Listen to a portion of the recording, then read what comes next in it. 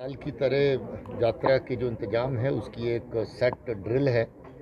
और हमें पता है कि किस तरह की सिक्योरिटी सुरक्षा हाईवे के साथ कैंप्स यहाँ पर सेटअप होते हैं, वहाँ लंगर यहाँ पर बनते हैं, वहाँ। और आगे जो ट्रैक हमारे दोनों तरफ़ बालटाल और पहलगाम की तरफ़ से जाते हैं, वहाँ।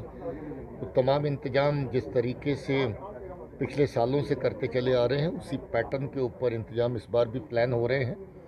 और वो मुकम्मल इंतज़ाम जो सुरक्षा की दृष्टि से ज़रूरी हैं वो किए जाएँगे। कुछ थ्रेट सर कोई थ्रेट थ्रेट कोई इस तरह का कोई ऐसी खबर नहीं है।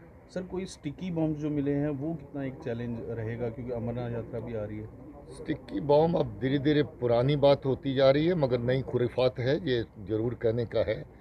अभी तक इस तरह का सिलसिला काफ़ी सालों से नहीं था मगर अभी कुछ जो अमन दुश्मन ताकतें हमारे पड़ोसी मुल्क की तरफ़ से इस तरह की कार्रवाइयाँ करने में हमेशा लगी रहती हैं। उनकी तरफ़ से एक नया सामान है जो तैयार करके भेजा गया है। मैग्नेट के साथ एक छोटी सी आईडी बना रखी है जो गाड़ी और मेटल सरफेस जो है उसके साथ जिसको चिपकाया जा सकता है।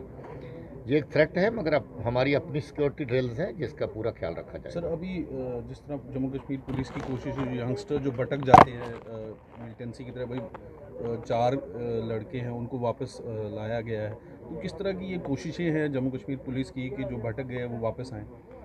देखिए, ये कोशिशें पिछले चंद सालों से, ख़ासतौर पे 2020 में हम लोगों ने बहुत शिद्दत से शुरू की और फिर जारी रखी।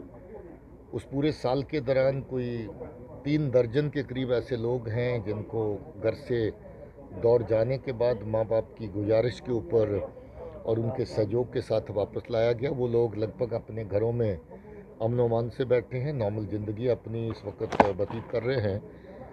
इस साल भी ये सिलसिला जारी है और हम लोगों की कोशिश है कि जो भी लड़के जो अमन दुश्मन ताकतें जहाँ पर जो नौजवान पीढ़ी को बर्बाद करने के ऊपर तुली हुई हैं, जम्मू कश्मीर सोसाइटी को नुकसान पहुँचाने पर तुली हुई हैं, हम उनको गलत रास्ते पे जाने से रोकें और उसमें हमें कामयाबी मिल रही है। बहुत सारे बच्चे इस बात को समझ रहे हैं बाद में एहसास होता है उनको कि हम गलत रास्ते पे चले थे।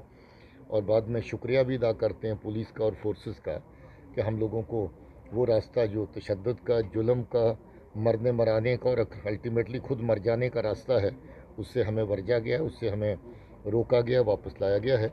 मैं समझता हूँ ये सिलसिला हम इस तरीके से जारी रखेंगे। इसके साथ अब तो हम चलते हुए इनकाउंटर में भी लोगों को सरेंडर करने का मौका देते हैं। हथियार के साथ अगर टेररिस्ट उस वक्त इनकाउंटर में शामिल है तो भी हम उसको मौका देते हैं। और पिछले साल कोई एक दर्जन लोग ऐसे थे जिन्होंने लाइव इनकाउंटर के दौरान सरेंडर किया। टॉप कमांडर्स भी अभी मारे गए अभी रिसेंटली भी एक जी टॉप कमांडर अभी एक तो नॉर्थ कश्मीर का जो टॉप कमांडर था लश्कर का गनी खोजा जिसको कहते हैं वो मारा गया उस एरिया में। और इस तरफ़ जो जैश मोहम्मद का टॉप कमांडर था सजाद अफगानी, वो अभी हाल ही में शोपियाँ में इनकाउंटर में मारा गया है। उसके अलावा जो नई तंजीमें इन्होंने खड़ी करी थी लश्कर मुस्तफ़ा, उसका हदायतुल्ला जो टॉप कमांडर था, उसको और उसके बाद नज़ीर, जो एक और नई ऑर्गेनाइजेशन उन्होंने बनाई थी, उसका टॉप कमांडर उसको बनाया था। ये दो लोग पकड़े हैं और दो लोग मारे गए हैं इनकाउंटर के दौरान। अभी साल में भी 12 के करीब जो आतंकी हैं, वो अभी तक ख़त्म हो गए हैं। और तीन दर्जन के करीब ऐसे लोग हैं जिनको अलग अलग मॉड्यूल्स की फॉर्म में हम लोगों ने पकड़ लिया है।